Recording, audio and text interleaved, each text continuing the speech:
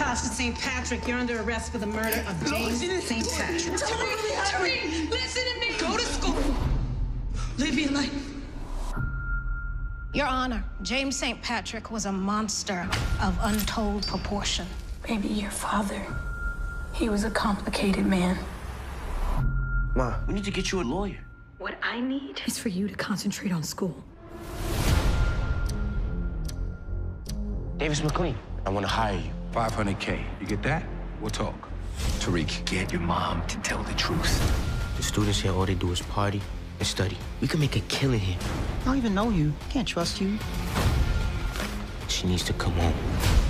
You raised that kid. That boy loves his mother. This is my legacy. Boy, be very careful. You're just like your father.